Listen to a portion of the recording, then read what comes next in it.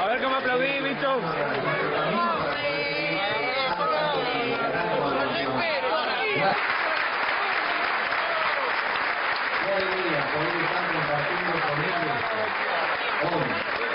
Porque en algún momento...